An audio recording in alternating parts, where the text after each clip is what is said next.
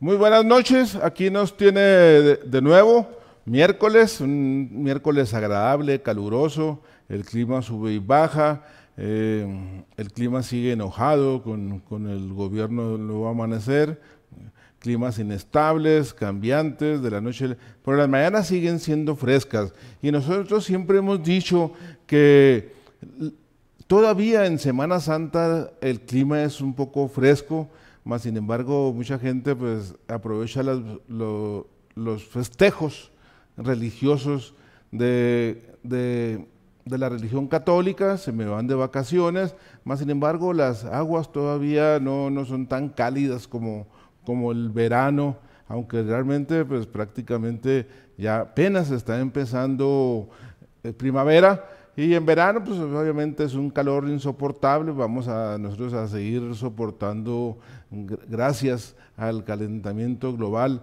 temperaturas hasta de 40 grados en lugares que jamás se había imaginado esas, esos climas tan cálidos, tan cálidos, tan quemantes, diría, diría su servidor. Pero en fin, aquí estamos en esta ocasión. Realmente esta noche Fíjese nada más eh, comentar nosotros con, con, nuestro productor Ramón Esparza, que realmente pensábamos muchas veces que qué temas íbamos a escoger para hablar de temas actuales, interesantes, y no, salen, salen, se reproducen como conejos, como diría, ¿verdad?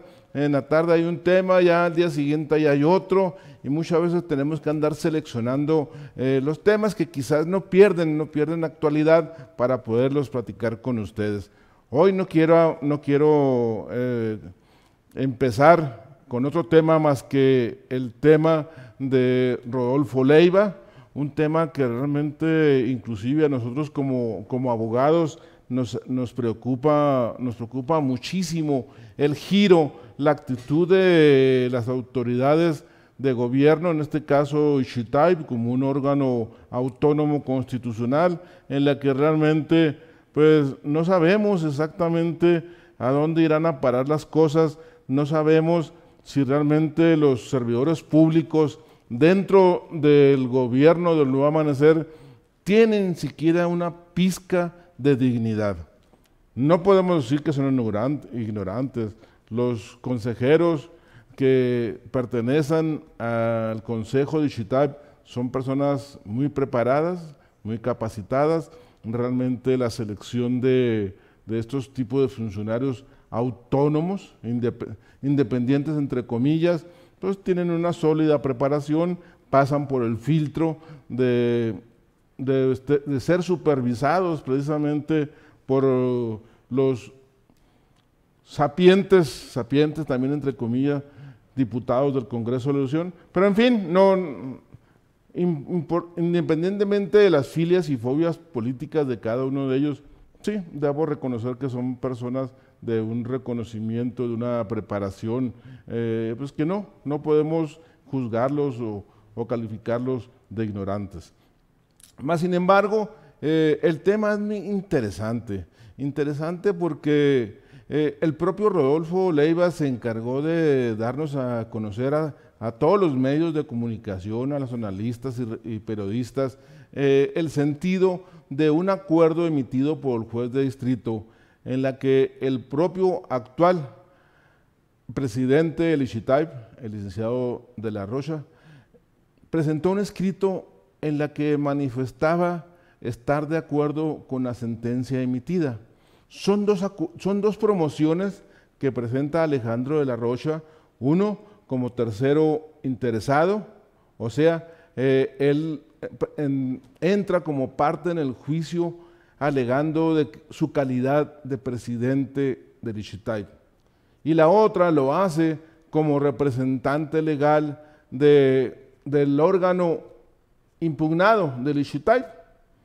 Y así consideraron nosotros que en un momento dado iba iba a haber un caso de caballerosidad política y en todo caso no se iba a impugnar la sentencia de amparo. Usted debe saber, eh, se lo podemos decir con mucho gusto, eh, son 10 días hábiles que tienen las partes en un juicio de amparo para promover el recurso de revisión en la que realmente pues, se van a presentar alegatos de inconformidad en contra de la sentencia dictada por el juez de distrito. Y luego, cuando ya nosotros ya esperábamos que, Rodolfo se sentara en el sillón presidencial, que le decía yo a él, en la silla central, son cinco consejeros de type, de transparencia, y él se iba a sentar en el lugar del que ocupa el presidente. Más sin embargo, otra vez los consejeros tomaron una decisión, ¿qué le puedo decir? Da vergüenza ajena, ¿eh? definitivamente, platicar estas cosas. Da, se toman un acuerdo entre cuatro contra uno y, y le dicen, vamos a impugnar.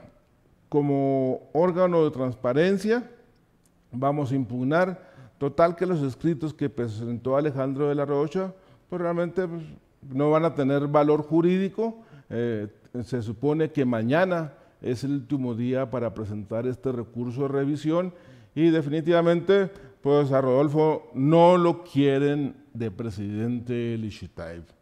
Y Rodolfo ha sido insistente.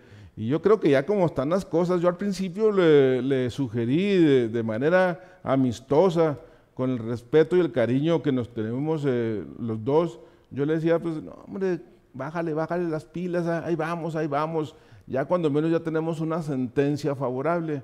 No, no, no, Rodolfo, como es, ¿verdad? impetuoso y siguió, siguió diciendo, pero ahora, ahora esa frase que, realmente nos inquietó mucho, nos, nos intrigó, inclusive diciendo, pues, ¿qué pasó? ¿Te amenazaron o algo? Y Rodolfo vuelve a insistir y dice, si Javier el Cesarín Corral no me quiere, que me mande matar. Fíjense nada más eh, el mensaje directo, formal, a la cara del Cesarín Corral, porque de plano no tienen vergüenza, son unos impúdicos.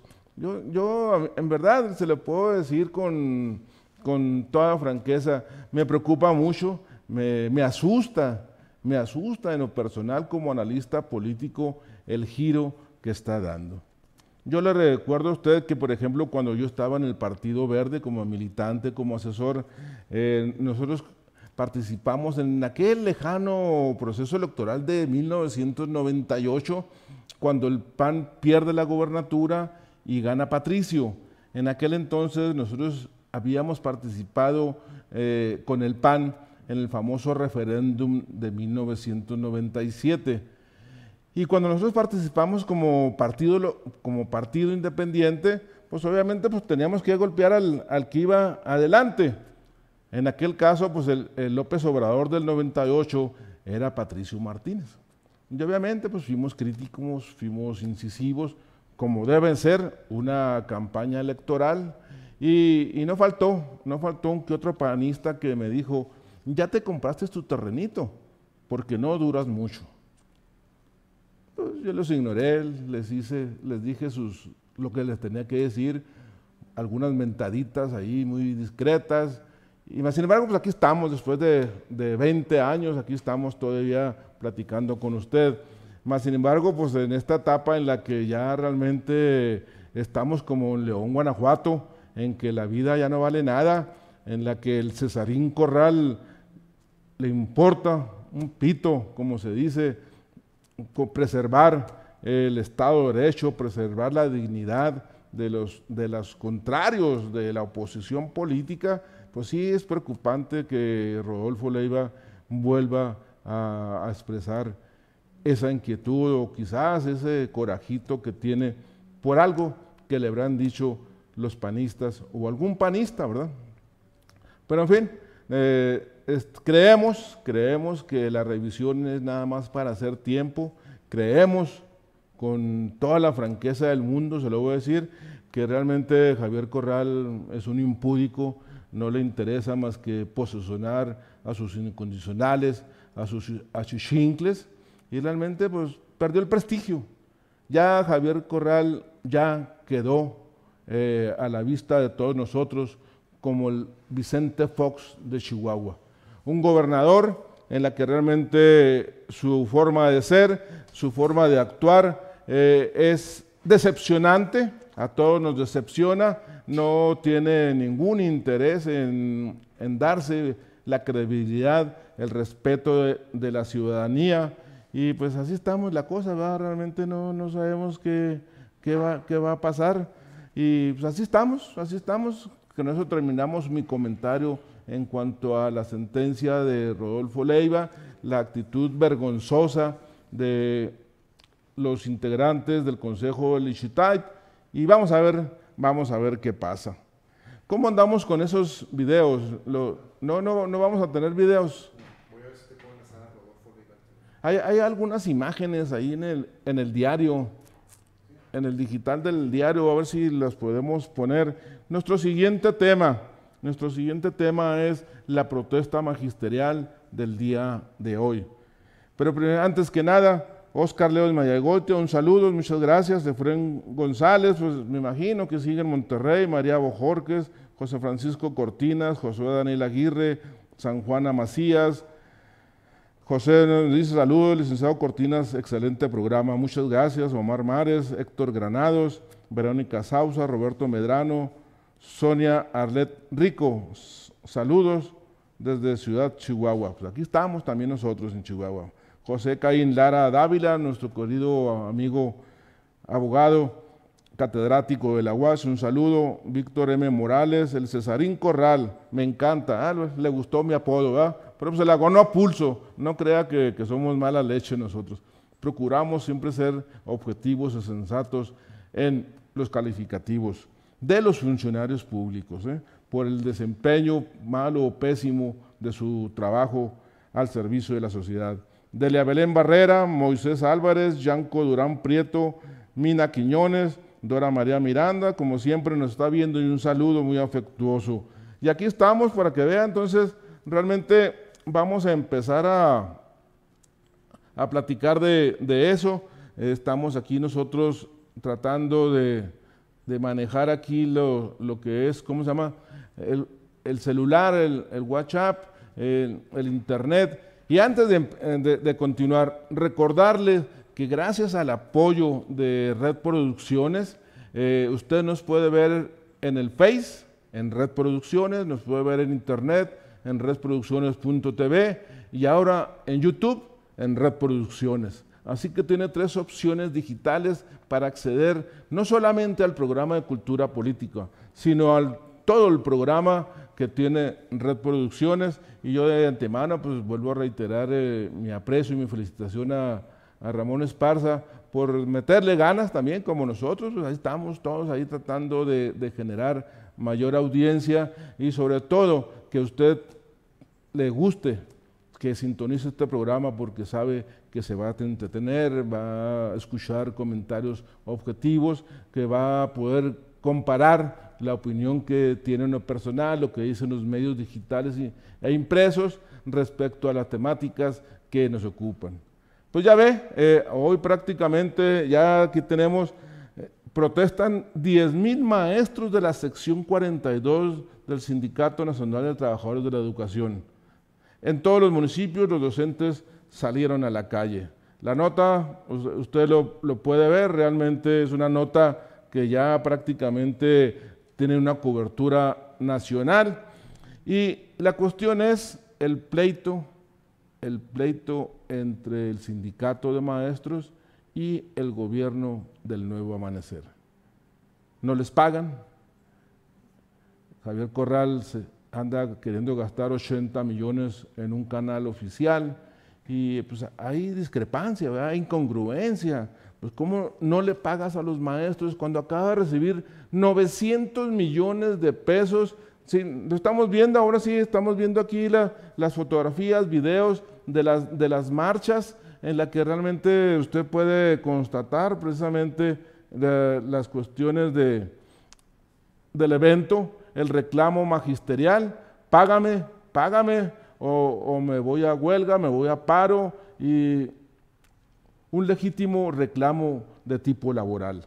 No estamos hablando de calidad educativa, no estamos hablando de nada más que de un ejercicio de un derecho que tiene todo trabajador de recibir puntualmente su salario. Pero fíjese, qué interesante, qué bueno que estamos viendo esto, porque yo le quería comentar lo siguiente. Aquí estamos, por ejemplo, nosotros platicando, mas sin embargo, debo, debo confesarle, hoy en la tarde tratando de, de buscar información para cotejar hechos pretéritos de, la, de las polémicas, de los reclamos magisteriales, pues obviamente nos llegó el recuerdo lejano de, de 1992, 93 y 94, cuando, era, cuando se dio la, por primera vez la alternancia política en Chihuahua y llega al, al poder estatal el panista Francisco Barrio. Mire, aquí tengo periódicos, sobre todo este periódico que, que data de la fecha de este periódico es febrero 12 del 97, ya más de 20 años.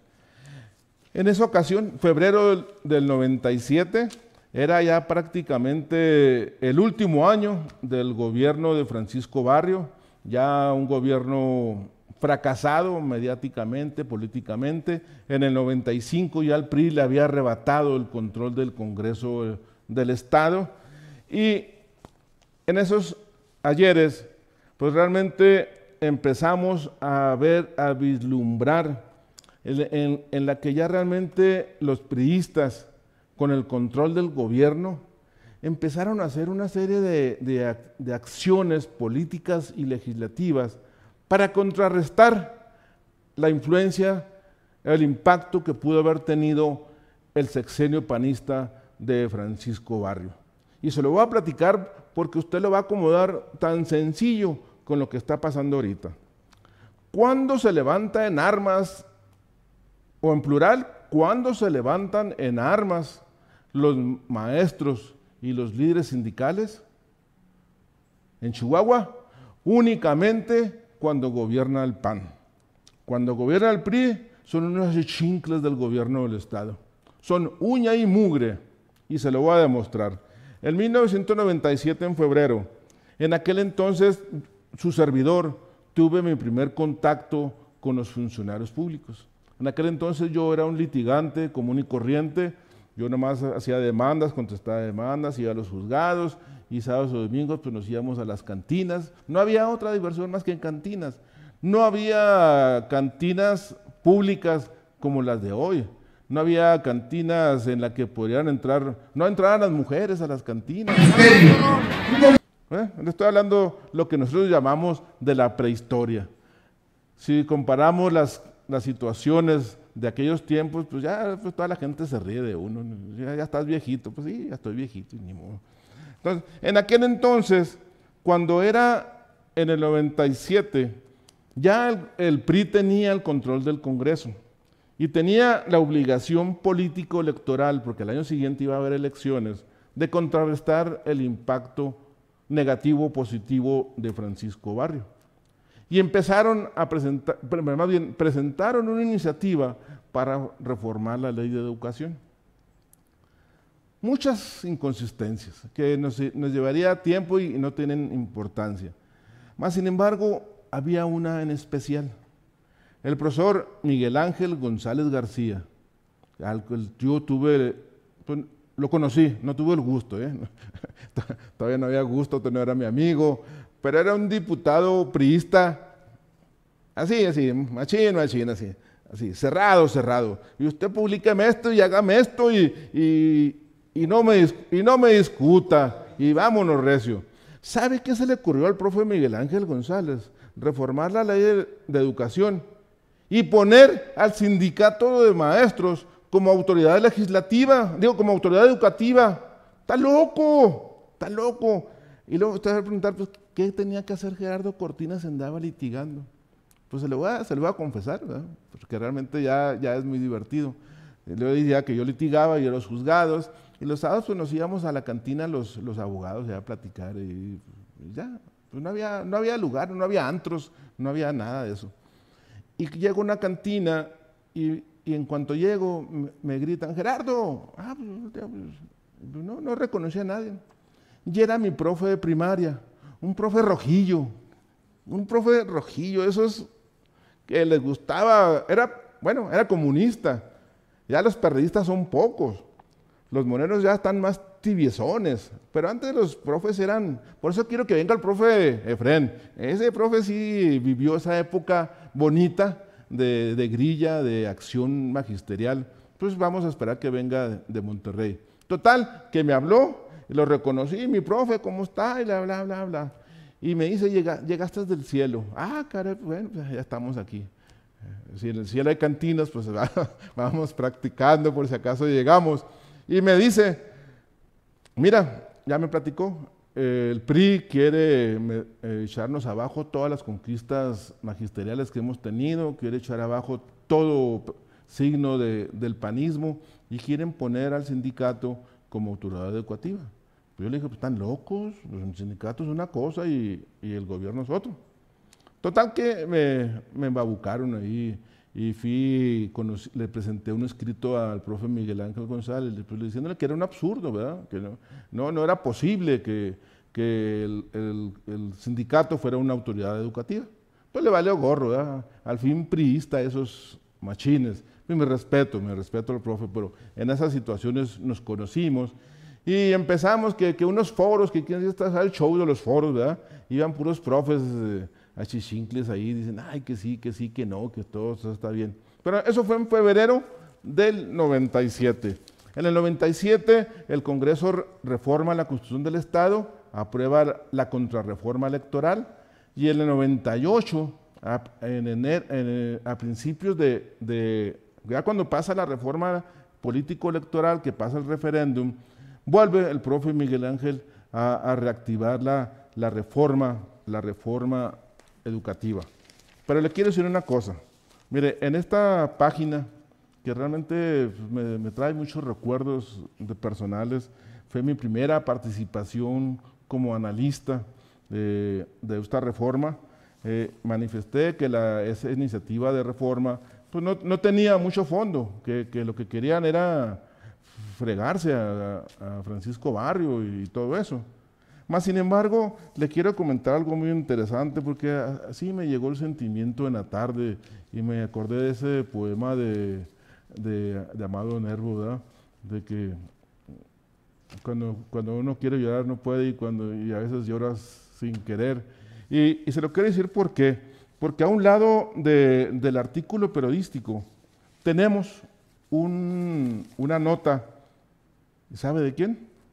de la señora Miroslava Briz Belducea. Ya era periodista, Miroslava. Yo apenas hacía peninos en, en, en, análisis político y lo conservo con mucho cariño, con, vale oro para mí, ¿verdad?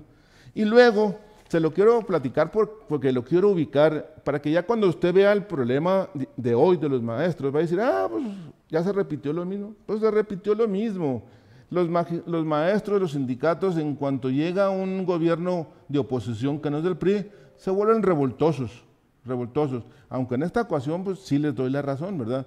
No se vale retrasar los salarios de los maestros. Pero en aquel entonces, entonces ya estamos en enero del 98. En aquel entonces eh, empezamos a comentar que realmente nos preocupaba mucho la insistencia de los diputados priistas por meter al sindicato como autoridad educativa. Se hizo un, movimiento, salieron muchas notas y, todo esto.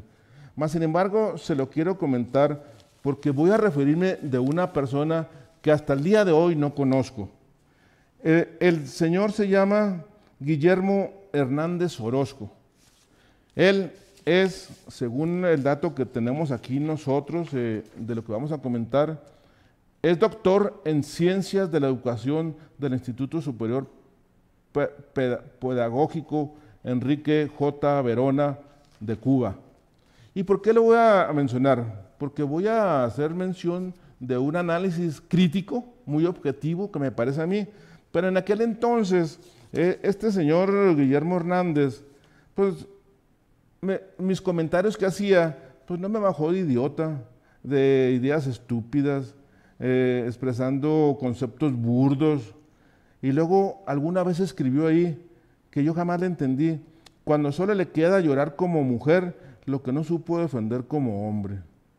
Sin embargo, los idiotas, estúpidos y burdos conceptuales también tienen derecho a expresar sus puntos de vista, aunque sea la única verdad que todos tenemos que aceptar. Fíjese, yo criticando la iniciativa, eh, eh, sin saber quién era el autor. Yo sabía que el profe Miguel Ángel era el promotor, pero no sabía quién era el, el autor. Y solito, solito salió, solito salió este señor a reclamar mis comentarios y nunca lo he conocido, ¿eh? Nunca lo he conocido. Pero ahora sí le quiero dar crédito porque ellos escribieron un análisis muy objetivo, me tengo que referir a él por congruencia intelectual, la alternancia política y educación, la realidad educativa en Chihuahua durante el primer gobierno de alternancia. Un análisis muy objetivo y se lo voy a leer porque, fíjese, todo lo que voy a leer, usted va a decir exactamente, pues se volvió a repetir la historia. Efectivamente se vuelve a repetir la historia. Nada más que ahora con el argumento de, que el gobierno del Nuevo Amanecer no le paga puntualmente a los maestros. Pues bien, este señor que es doctor en, en ciencias de la educación, escribió diciendo que el triunfo del PAN en el 92 generó una serie de transformaciones profundas en el ámbito educativo del Estado. La alternancia significó la emergencia de una crisis inédita para el sistema político y simbólico que apuntaba hasta entonces al sistema educativo estatal. Un componente especialmente desafiante de dicho escenario era el sistema educativo. Los enfrentamientos entre las fuerzas de las dos secciones del sindicato, la, octava y el 42, se convirtieron en un fenómeno cada, más, cada vez más frecuente. Pleitos a diario, constantes, como está pasando ahora, ¿verdad? los sindicatos se reclaman al, nuevo, al nuevo amanecer, actitudes que, no son congruentes con las promesas de corazón que hizo Javier el Cesarín Corral. Y luego de el apoyo que por décadas había operado y reaccionado de una manera, con una lógica corporativa. Los sindicatos siempre han sido corporativos. Si acaso los maestros tienen muchas prestaciones, estamos hablando de prestaciones, ¿eh? merecidas o no, eso lo podemos platicar después. Fueron precisamente porque los gobiernos del PRI trataron, intentaron e hicieron todo lo posible para cooptar el voto sindical, no solo del magisterio, de la Comisión Federal de Electricidad, de Pemex, todo del Seguro Social, todos aquellos empresas paraestatales que tenían miles de empleados fueron cooptados a base de pagos o de prestaciones inmerecidas. Las políticas educativas, en tanto políticas públicas, adquieren las peculiaridades que les imprimieron los ministros o los secretarios de educación. ¿Qué pasa? La experiencia de estos fenómenos convierte la realidad educativa y especialmente la práctica docente en un elemento integral de su ejercicio retórico. Cosifican la realidad educativa sometiéndolo a la lógica de la construcción de sus discursos. No estoy diciendo nada nuevo, ¿no? Definitivamente estamos hablando de 1992, estamos hablando ya de 26 años, ya, casi tres décadas de, esto, que, lo que pasó en Chihuahua. Y luego dice, al tocar el ámbito educativo, el gobernador panista dijo, y en fin, hay que realizar cualquier tarea que haga falta para que nuestras escuelas recuperen un aire de dignidad, un ambiente apto para el estudio de nuestros niños y jóvenes. En una actitud de divorcio con las dirigencias sindicales totalmente contraria al uso y costumbres de entonces, hasta antes del triunfo del PAN, el el sistema educativo chihuahuense operaba mediante el establecimiento de acuerdos entre las autoridades educativas y el sindicato, que en conjunto asignaban plazas y ascripciones laborales. ¿Sigue? ¿Sigue todavía?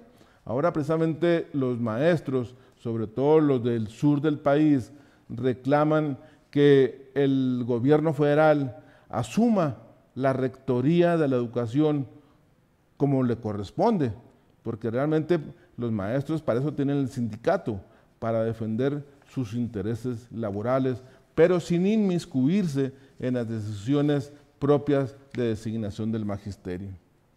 Y luego, cosas que pasan todavía. Hasta entonces, la simbiosis entre el sindicato y la autoridad había generado un clima de organicidad en la que todos estos temas inherentes a la gestión administrativa del sistema se concentraban a través de acuerdos entre ambas partes. Realmente, ¿qué le puedo decir? Eh, si usted se acuerda, hay, una cuestión que no se menciona en, este estudio. Eh, en un evento del magisterio, estamos hablando del 93-94, eh, una declaración desafortunada de Francisco Barrio en la que le, pedía al magisterio que se pusieran sus zapatos. y, sabe qué hicieron los profes en aquellos tiempos? Pues agarraron los zapatos viejos que tenían y los empezaron a colgar en los postes afuera del Palacio de Gobierno. Total que teníamos una de piñatas de zapatos viejos y todo eso. Y, definitivamente fracasó el intento del gobernador de, tratar de congraciarse con los maestros. Pero vamos a seguir saludando, si me permite. Eh, nos quedamos, Mina, Mina Quiñones, un saludo, muchas gracias. Flor María Vargas Frescas, nuestro productor Ramón Esparza, Moisés Álvarez Palacio, excelente programa, felicidades. Muchas gracias, Moisés. Montserrat Jaques, Martín Acosta Rayos, don Héctor Bernal, un saludo como siempre. Omar Mares, nuestro técnico de lujo, nos dice trabajo en conjunto de Ramón Esparza y Omar Mares, le encargo. ¿Sí? Ah, ok, ahí, me, pasas el tip. Hugo Molina, Zulma Chacón, Edmundo Quiñones Arayanes, Angie Payares, un saludo. Ahí estamos esperando el pay todavía, nomás me lo platica su marido, pero no, no me lo trae. Ah, no, no, pero ya, ya le adelantamos algo, ya le adelantamos algo. Fidel Pérez Romero, un saludo. Juan Carlos Carrasco Borunda, Juan Rodríguez Ubiate, magistrado, ya repórtese, ya tenemos que hablar del nuevo sistema penal. Nicta Leal Bejarano, Fernando López Serrano, Mónica Reyes, un saludo como siempre, Saúl Rocha Ávila y otra vez Mónica, muchas gracias, nos saluda por el programa. Pues entonces, le estamos diciendo, la situación del 92-93 a la hora sigue siendo la misma.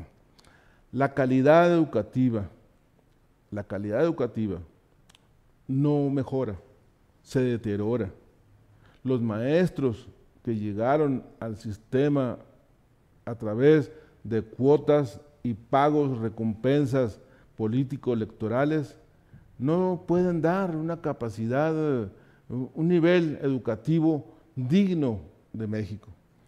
Si usted se acuerda, lo quiero comentar como paréntesis, si usted se acuerda hace muchos años cuando estaba Salinas de Gortari de presidente, llegó una evaluación de órganos internacionales en la que calificaron, reprobaron el nivel educativo de México. ¿Y sabe qué hizo este señor? ¿Sabe qué hizo su secretario de Educación? ordenarle a los profes que pasaran automáticamente a todos los alumnos para poder revertir esa imagen, mala imagen, pésima imagen internacional que tenía México a través o, ante los organismos internacionales que velaban por la calidad de educación. Tonteras. O sea, siempre los, los priistas, bueno, los panistas no, porque no se les ocurre. ¿eh? yo por eso quiero hablar nada más de los priistas. Los, panistas no tienen visión, no sé. Pero los priistas luego, sacan cada ocurrencia burda, grosera, como usted lo quiera, pero siempre tratan de solucionar un problema. ¿Y sabe qué hacen? Precisamente llegan al extremo contrario. Pues de qué nos sirve a los maestros tener que aguantar a todos los alumnos en el salón de clase que no tienen aprovechamiento y tenerlos que aprobar, porque simplemente eh, de eso era uno de los, es uno de los factores que tienen de, calificación los organismos internacionales en, en materia educativa. ¿Sí? Entonces, vamos a seguir.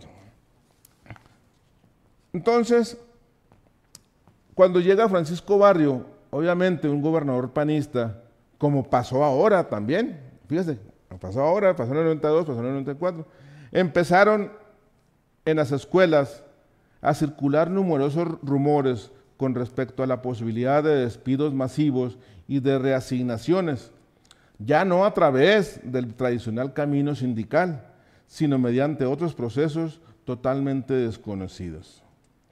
Y luego, obviamente, Francisco Barrio lo, menciona el, el, estudio, el problema que tuvo con pensiones, en aquel entonces se llamaba Instituto de Pensiones Civiles. Pues había muchas personas, especialmente maestros y burócratas, que los mismos médicos les hacían incapacidades médicas hasta para irse a pasear, hasta para irse a, las de, de ayudantes en las elecciones. O sea, se inventaban, se inventaban las incapacidades y claro, pues esto generaba un gasto extra a pensiones. Pero vamos a hablar de los, de los datos. Fíjese nada más. El tercer frente que combatió Francisco Barrio y que también combatió Cesarín Corral era, es el tema de los profesores llamados aviadores en ambos subsistemas. Se trataba de plazas de maestro que por diversos motivos se asignaban a discreción mediante acuerdos entre la autoridad y el sindicato. Las plazas se cobraban, pero no se trabajaban.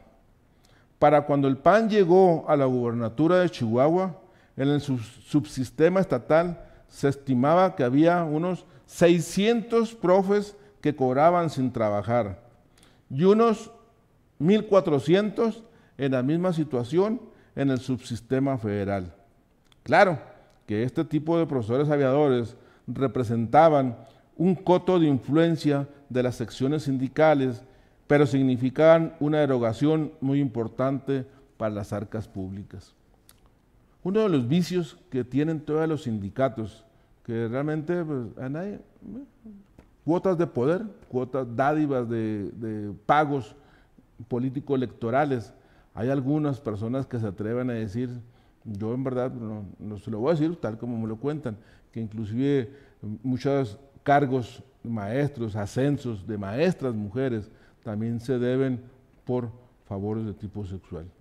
Se lo digo sin conocimiento de causa, es un rumor que se pregona, se dice, que todo el mundo dice, pero no importa, ¿verdad? Estamos hablando de ascensos, de cargos, en la que realmente la forma, el, medio que llega uno, pues resulta intrascendente en estos tiempos. Y luego empieza eh, eh, el gobernador a establecer, y luego, ¿qué pasa? Lo que empieza, se desaparece el consenso, lo que se llama esa práctica, el consenso con chequera al puro consenso. Es decir, hay otra forma de intermediar los intereses. Esta nueva forma de gobernar sin chequera iba a implicar reacciones de importancia por parte de las secciones. El mandatario estatal declaró que existían más directores que escuelas en el nivel de primaria y que alrededor de unos 700 maestros estaban comisionados de forma injustificada en ambos sistemas. Una realidad muy triste, un vicio magisterial solapado, la, corrupción en la que realmente, ¿sabe qué le importaba a los gobiernos del PRI? Y quizás al PAN, ¿verdad? Pero en el PRI era más descarado. El PRI pagaba precisamente esos concesos con chequera, pagaba, pagaba, eh, con un sueldo, con una gratificación, con un ascenso. El PRI lo que quería era el control electoral de los sindicalizados. Era todo lo que le interesaba. Pagaba, pagaba. Por eso el costo de pensiones siempre no se pudo absorber, porque le, llegaban más costos, más incapacidades, más inmerecidas prestaciones, préstamos sin garantía. No, no, olvídese, vamos a invitar a, don Carlos Grado para que nos platique sobre esos vicios eh, políticos en la que únicamente el único beneficiado era el gobernante en turno y el candidato oficial de la próxima elección. Y luego otra de las cuestiones que subsisten, que pues que es vergonzoso, pero pues qué le puedo decir, nada más le estoy comentando de tantas y tantas corrupciones añejas que existen en México.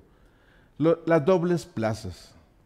Las dobles plazas en las que los maestros ya cuando se iban a jubilar, les daban otra plaza para que se pudieran jubilar con el doble del sueldo.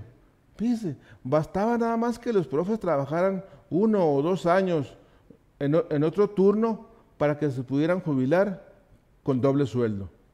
Existe todavía esa perversidad de que los maestros se van a las fronteras para ganar un sobresueldo y jubilarse con, con esas prestaciones. Cooptación del poder, cooptación del control político y la calidad educativa. En los suelos, en los suelos, al profe, al profe como a los funcionarios de gobierno, como a los jueces y magistrados, lo, único que les interesa es jubilarse con su sueldo. ¿Cuál calidad? ¿Cuál, cuál esencia del, servicio público? Ninguno. Por eso es lo que eh, este, autor habla del consenso con chequera. Y sin chequera, como lo quiere hacer Cesarín Corral, pues nadie quiere. No, pues, no, no, mochilas, mochilas, que algo, algo que, que valga la pena. Y en esa idiosincrasia mexicana del magisterio nacional, no solamente Chihuahua, pues camina la corrupción, subsiste la corrupción y en cuanto usted le dice, ¿sabes qué? Hasta aquí se acabó, pues respingan todos, respingan todos y obviamente vamos a ver más reclamos, más protestas magisteriales, pero simplemente por el hecho de que tenemos un gobierno panista, pero aparte de panista, muy inepto, con muy escasa sensibilidad política para resolver todas estas cuestiones. Y luego se lo voy a comentar porque realmente quiero que usted se ubique en el contexto del reclamo magisterial como un evento político, como un evento coyuntural, en la que realmente si Javier Corral les paga, pues se acaba el reclamo y se van a su casita. Es muy interesante observar cómo las medidas de la autoridad en su doble propósito de recuperar la gestión de la educación en Chihuahua y de operar el sistema educativo con una lógica de ahorro y eficientización del gasto en realidad reflejaba una postura más profunda con respecto a la manera en la que debía concebirse la administración pública. En tanto, el Ejecutivo Estatal continuaba con su discurso sombrío. Para esas fechas declaró que la educación chihuahuense estaba casi en quiebra, y no solamente en lo económico. Para citar, como ejemplo, hay un enorme rezago en educación en el 80% de los poblados de la sierra. ¿Le estoy diciendo algo nuevo? claro que no, definitivamente no. A pesar de que la mitad del presupuesto estatal se va a educación y en la que realmente ningún gobernador, ni desde barrio hasta el Cesarín Corral, han hecho medidas para que ese presupuesto educativo lo absorba la federación. Para que vea, le estoy dando otra idea al, Cesarín Corral. Agarre su banderita y dígale al gobierno federal, oye, el 40, el 50% de mi presupuesto se va a educación, vamos a repartirnos 50-50 para que yo en un momento dado tenga más capacidad, financiera. Nadie lo hace, ni el propio López Obrador. El propio López Obrador, a través que lo vamos a comentar y a criticar después, pues sigue con sus ideas, haga, ya también tiene su banderita de echar abajo las reformas estructurales de Peña Nieto. Pero yo le pregunto a él, pregúntese usted, ¿ha dicho alguna vez López Obrador que le va a reducir el financiamiento público a los partidos políticos? Pues claro que no, no le conviene. Y ahora anda diciendo que una parte del financiamiento para campaña se lo va a dar para las, para las víctimas de los sismos. No se vale, no se vale, hay que ser más congruentes. Pero en fin, estamos en México, ¿qué le puedo decir? Y luego empezaron los reclamos, empezaron las discusiones, hubo mantas eh, en algunas partes en la que lo calificaban como el Adolfo Hitler de Chihuahua. Más sin embargo, empezaron los pleitos y aquí es. Fíjese nada más, ¿eh? 15 de mayo de 1994. Hace ya 24, 26 años. Se lo va a leer para que vea que realmente se repite la historia entre dos gobernadores panistas insensibles a morir, en la que realmente ellos olvidan la sensibilidad y el contexto de la problemática magisterial. El 15 de mayo, el Día del Maestro, el ya para entonces denominado en los medios conflicto magisterial, alcanzó uno de sus puntos más álgidos.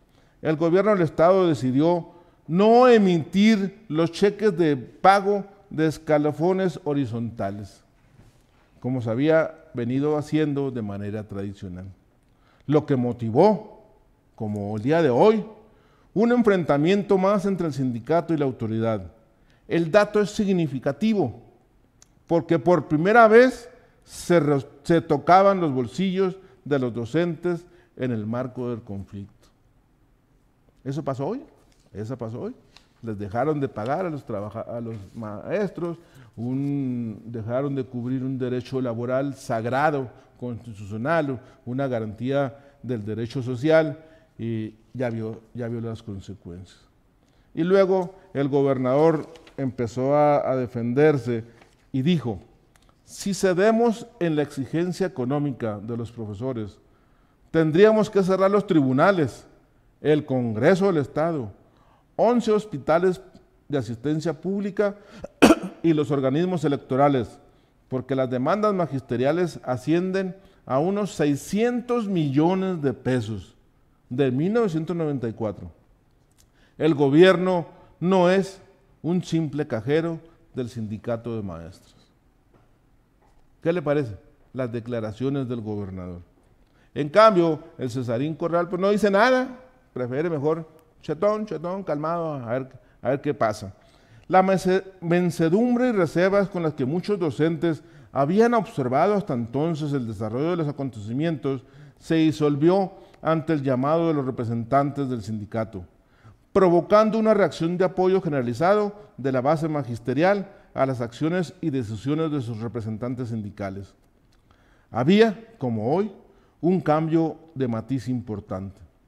El gobierno no enfrentaba solo al sindicato, a sus líderes, sino también a los miles de profesores de base. ¿Y cuál fue la reacción de, Francisco Barrio? Se lo digo, Javier Corral se calla, pero Barrio fue muy, muy preciso y se lo voy a hacer.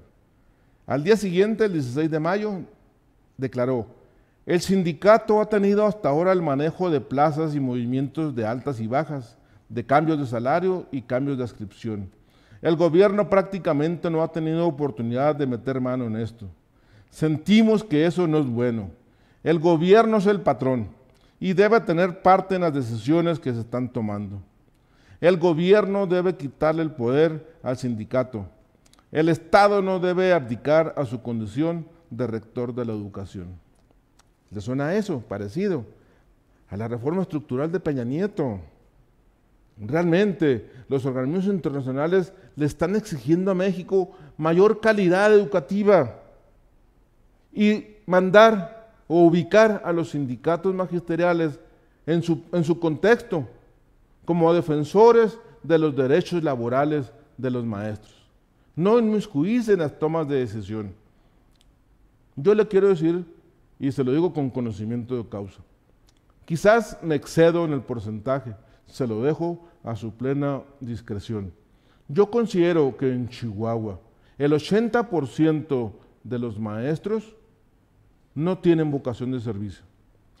Me puedo atrever a decirle que el 50% de los maestros de educación media y superior han llegado a ese cargo por decisiones unilaterales de los gobernantes en turno por merecimientos políticos, por, por talacha electoral, pero nunca han llegado por su capacidad y su talento educativo. Esa es la desgracia de la educación en México. Esa es la desgracia de la educación en Chihuahua. ¿Y qué le puedo decir? Estamos hablando de situaciones reales. Usted me a decir, es que hay que ver las circunstancias, hay que ver eso, sí, pero obviamente todo eso significaría un programa especial para ubicarnos en ese sentido. Soy testigo, se lo digo, de que maestros universitarios y bachilleres han puesto como carnada a sus alumnos en eventos partidistas y electorales. Les han dicho, te vete a la esquina, eh, ahí a, a agarrar banderitas del partido del candidato y estás aprobada.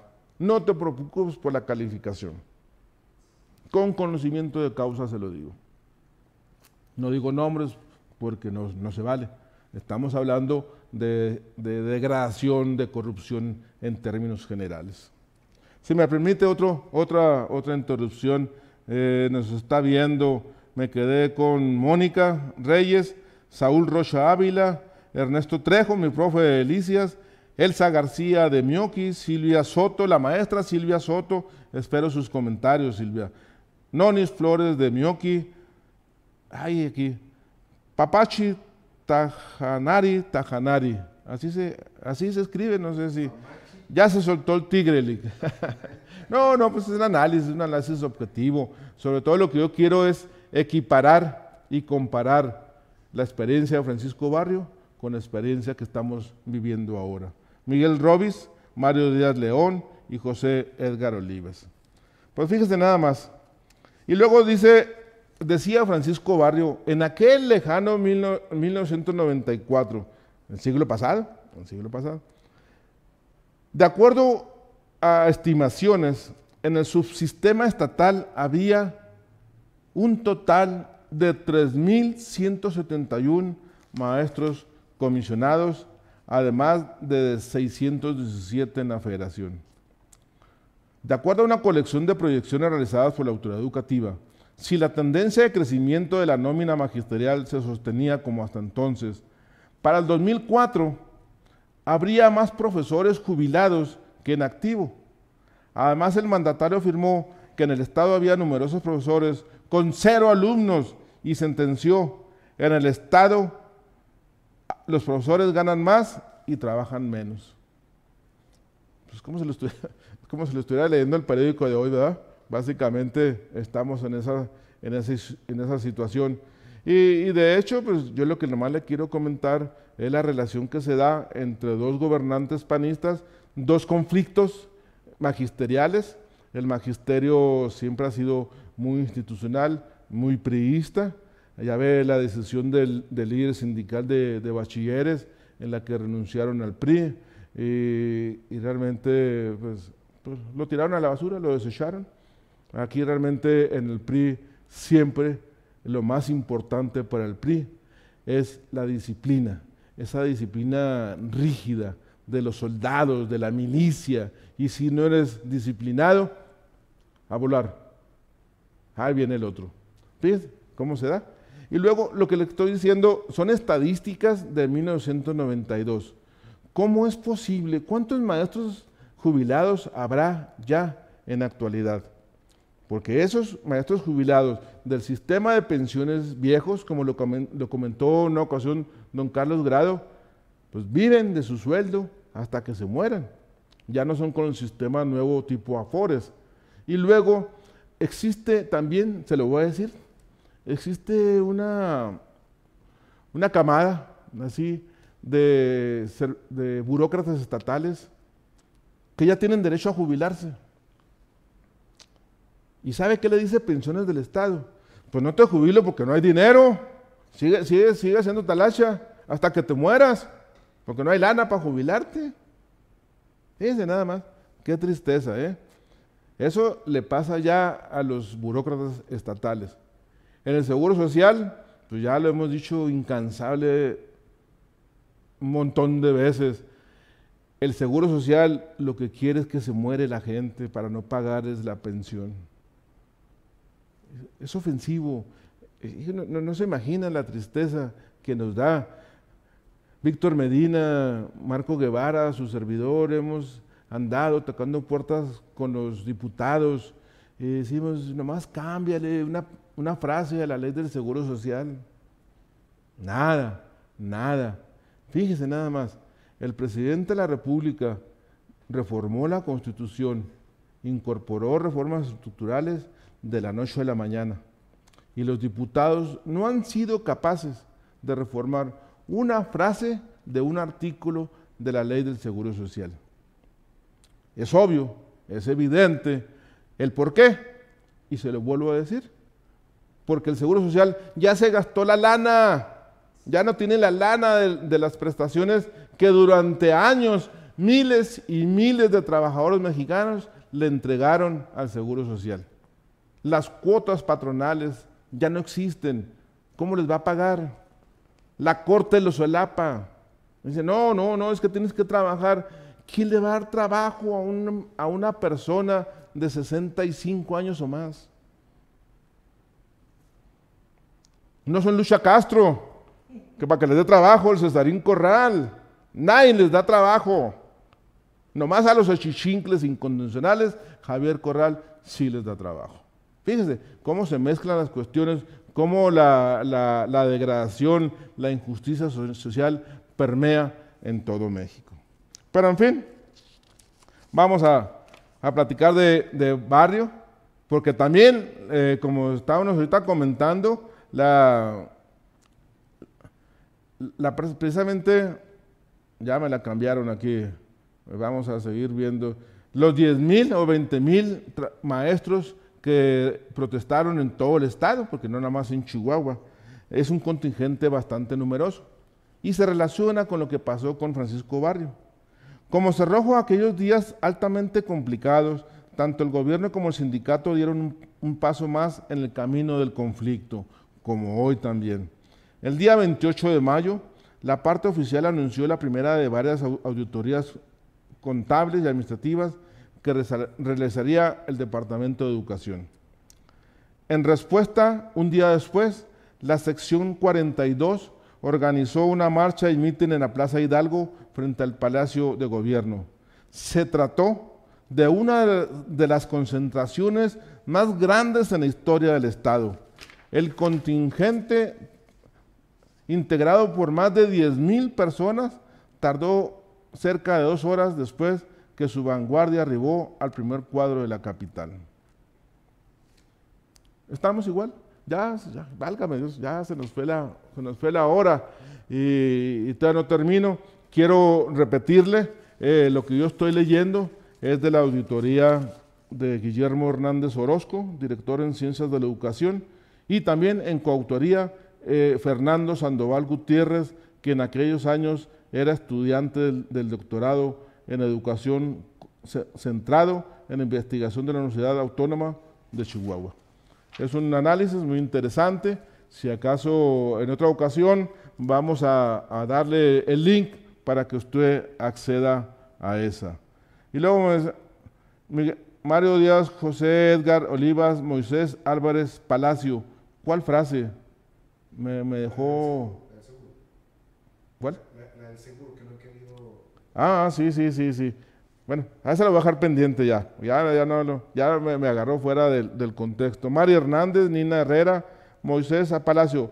¿Cuál frase no han querido cambiar? Ah, ah, perdón, la del... Ah, sí, ya, perdón, sí. Mire, aquí precisamente la frase de, de, la ley del Seguro Social, gracias por la observación, eh, me quedé así, Gustavo, pero, Gustavo Franco Olivas y Silvia Soto, la maestra. Buenas noches para comentar que el gobierno del Estado se escuda en que no hay dinero, que no llega al presupuesto federal y no sé cuántos pretextos. Nuestro sueldo, nuestro sueldo depende 100% del Estado. Ahora sí, el 50% del presupuesto se va en educación. Me gustaría saber en qué aspectos se invierte, porque las escuelas siguen en las mismas condiciones, con mala infraestructura, sin apoyo para nada. Lo mismo ocurre con escuelas de tiempo completo pues tantas las promociones el gobierno, pero tenemos desde noviembre batallando porque no nos envían los insumos de comedor y la compensación de quienes trabajamos en ese horario. Y por último, Ramón Lerma Corral.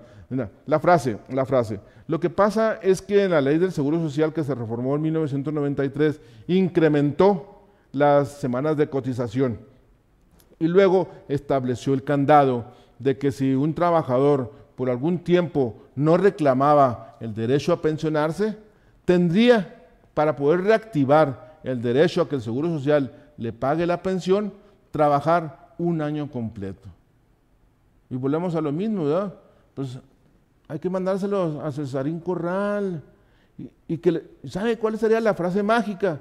Que, que, vayan los miles de trabajadores que no reciben su pensión y les diga, yo soy primo de Lucha Castro, échame la mano, contrátame un año nada más, para que estos señores puedan recibir, aparte, le vamos a platicar cuando venga don Carlos Grado, las míseras pensiones que da el Seguro Social. Pues le agradezco mucho, en verdad, se nos fue el tiempo y aquí estamos como siempre. Nos vemos el viernes, no se lo olvide, hemos incrementado nuestro, nuestra proyección gracias a su preferencia. Por mi parte es todo, muy buenas noches y hasta el viernes. Ah, no, verdad. Sí. Ya se me pasó. ¿Ya estamos fuera? ¿Ah?